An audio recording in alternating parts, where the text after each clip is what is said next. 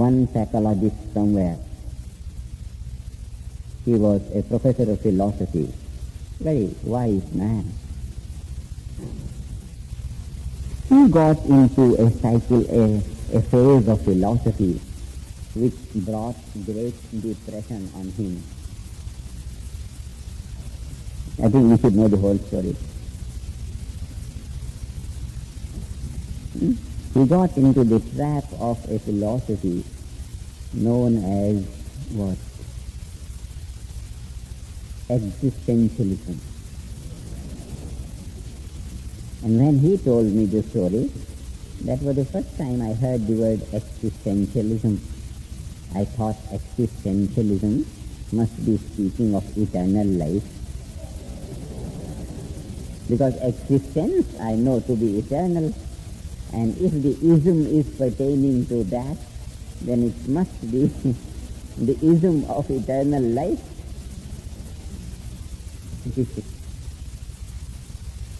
and then he told me the story. I said, I said, what, he said he wrote a book and uh, the book became very popular in, this, in the midst of all the psychologists in Canada and here in the States.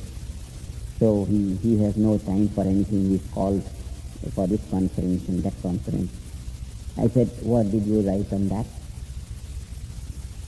He said, what is there to write? We see this flower is so beautiful and this table is so nice and this is so good and everything seems to be so good and so fine. But look at that. Everything is changing, changing, changing, dying, dying, dying. And this is what life is, a field of death perpetual death. I said, do you call this existentialism? This is non-existentialism.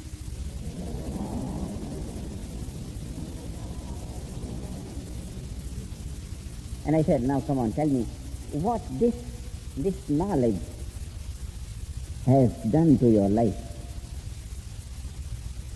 He said, I am not interested in anything. Because what I know is to be same, same, death, death. What is there to be interested about? And I said, how do people in your family feel about such a thing? That you are not interested in anything because you know everything to be changing.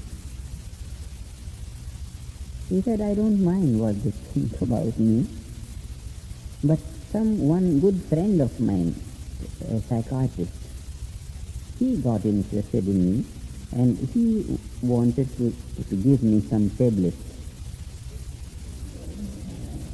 So, and he said this will take away my depression and it will make me wake up in life and get me interested in life. And I said, did you take the tablets? He said, no. I asked the doctor. He said, Doctor, don't give me tablets. Give me knowledge. It is not the tablet that is going to satisfy me. It's the knowledge that can wake me up or that can put me to sleep, whatever. But the knowledge, I want knowledge. Give me knowledge. I said, now you have come to the field of knowledge about life. And I said, what you are saying is partial value of life. You have absolutely realized life, but only in its partial phase. This is the nature of a relative life. What we say is changing, changing, changing, changing. But there is another aspect to life and which we call A-B-S-O-L-U-T-E. This is the structure of that. Absolute. Even this word is relative the word absolute itself is relative, but this is how we can talk about it. Something that is non-changing. He said, where is that? Show me. I said, this is a right inquiry. You see that everything is changing and everything is changing and everything is changing and therefore you have based the, uh, the whole structure of life on change and change and change and change.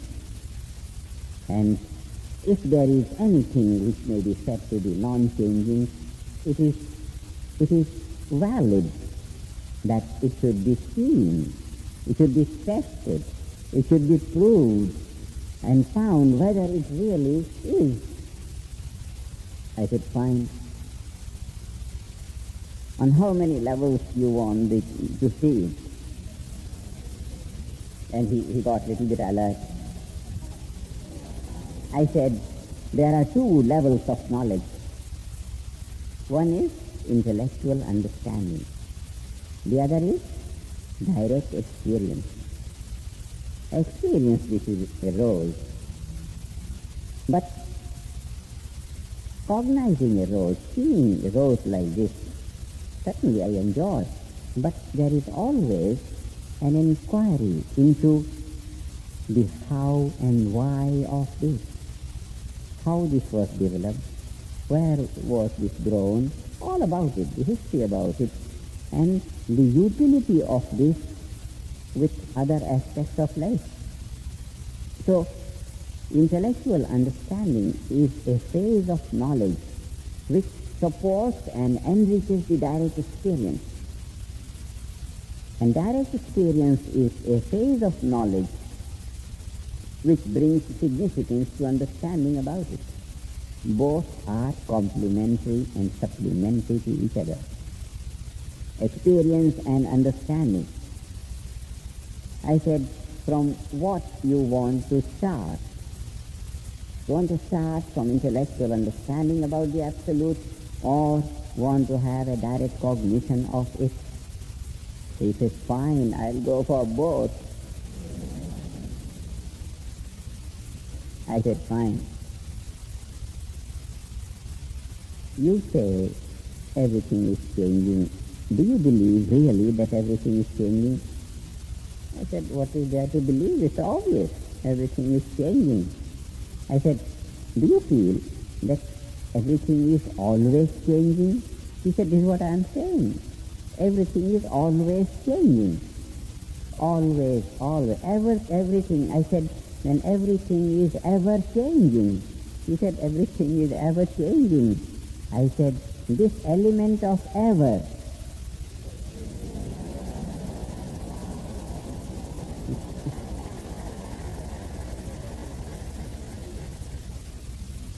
That is called absolute.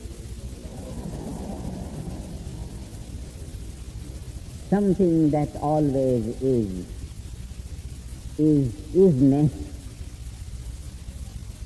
isness on the basis of which is thrives, and is thrives on the level of change, but on the bed of non-changing isness, which is ever eternal, immortal, infinite. Eh?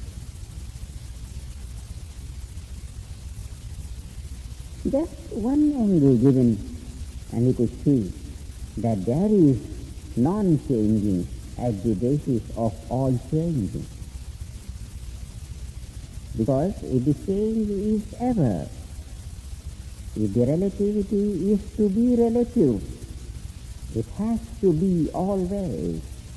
And that which is always is that which is not ending, which is not changing. So all the change that one sees, one sees on the basis of non-change. This is intellectual understanding about the Absolute. It takes half a minute to show intellectually. On the same ground of reasoning that everything is changing, one word added to that. Everything is always changing. And just bringing the the factor of always to one's notice, and that's all. All these scientific researches done by this scientist or that scientist or that scientist or that scientist, the phenomenon has ever been there. Who has not seen fruits falling from the tree and getting onto the earth? Newton saw it and he said, ah, there is gravity. The phenomenon was there all the time. Who doesn't see apple falling on the ground? So, the recognition of truth does not mean that the truth is created. It's there. Only it is realized. And once it is realized, we start to make use of that knowledge for enriching our life. Hmm? Here is the applied aspect of all these scientific formulas gained, mathematical formulas gained through observing the phenomenon in nature. This thing, this thing, this thing, this thing, this thing, this thing. Hmm? And this is the pursuit of science to find out the reality of, of creation. Finer and finer. Every branch of science is investigating some laws of nature. And always the quest is towards finer and finer. Physics, chemistry, biology, astronomy, all are proceeding to investigate into the cause of the of, of the surface value of life getting into this cause of surface value of life. The phenomenon has always been there. It is there. Only a matter of realizing it. The face of, of, of that man, which was sunk all the time in, in existentialism, found existence absolute at the basis of all his theories of all change and change. The face started to blow up right from that moment in half a minute when the ever was pointed out. That element of always pointed out. He said, now intellectual understanding is clear. Intelligent mind quickly grasped the whole thing. And now I said, now you will go to experience. I'll send you on to a lab work. He was initiated right away. And then what happened to him was, within two minutes, he started to laugh. And he laughed, and he laughed, and he laughed, and he laughed waves of joyfulness in his heart, waves and waves and waves. For 15 minutes he was laughing.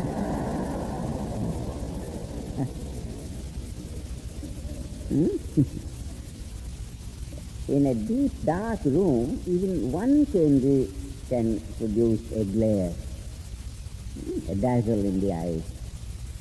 Whole of his awareness was sunk in that gloomy mood of change and change and change, and life is just no good and no work and nothing. All that gloomy. And we didn't know whether he actually transcended or not, but sure enough he, he went a few steps into the subtle and that was enough for him to bring the waves of joyfulness And when he narrated the whole thing to me, he said, I was feeling foolish within myself, but I didn't know how to restrict laughing. I, I didn't know how, why I was laughing, but I knew that I was laughing. and 15 minutes. And this was due to the contrast, great contrast so never mind what a man has been so, so long, so far, till now. Let him start to meditate. His heart will swell in love, in happiness. His life will take a direction towards more progressive enlightenment, more progressive, more progressive. This is really awakening the reality of life from within. Really awakening the life. And for that, what was done? Nothing other than a few words of advice so that his mind may take the inner course. Very spontaneously. After initiation he came and he said, Maharishi, tell me, what I experienced was, it was very wonderful and I laughed and I laughed and I laughed and I didn't know why I was laughing and there was no reason for that, but I laughed. But tell me, was it real?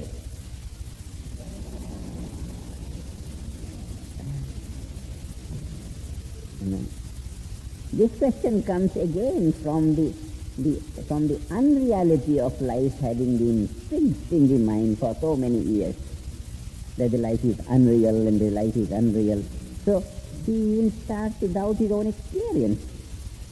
He feels good, feels happy, wants to confirm whether it is real happiness. Because he knows everything to be changing and on that basis of change he knows everything to be unreal. And now he started to laugh for the first time in his life, not speaking of his early days when he was a child and he was not gripped by this existentialism. As a child he must have been laughing a lot. But now he said, real, unreal. I said, now we'll analyze whether it was real or unreal. I said, uh, this is a flower. And uh, you open your eyes and what you find is a flower. And you open your eyes and what you find is a mic or a table. And perception is innocent.